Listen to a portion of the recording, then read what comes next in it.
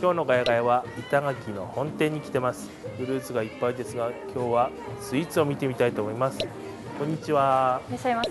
ここに並んでるスイーツはこちらで作ってるんですか？あ、はい、こちら本店で作っています。今時期は何が一番おすすめですか？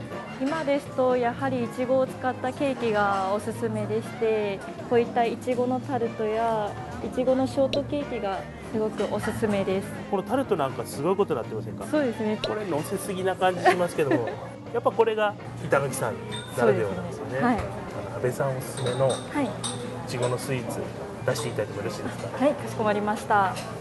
お待たせいたしました。いちごロールでございます。美味しそう大砲のような太さで そうですね。そして真ん中にいちごがはい、スライスのいちごじゃなくていちごが丸まんま入ってるんですか？そうですね。丸ごと。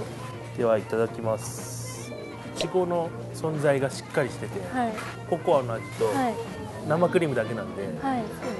なんかシンプルでいちごが引き立ちますね、はい、結構ココアの苦みと生クリームの甘さが結構いちごと相性抜群でいちごを引き立たせているような形になっております。そうその通りです。安倍さん上手ですね。ありがとう安倍さんございます。召し上がってますよね、はい。ね